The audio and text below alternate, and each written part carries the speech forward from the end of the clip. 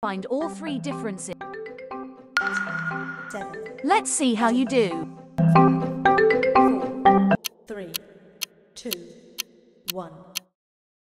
Here goes the first one. This is second difference. Third difference is in this quarter.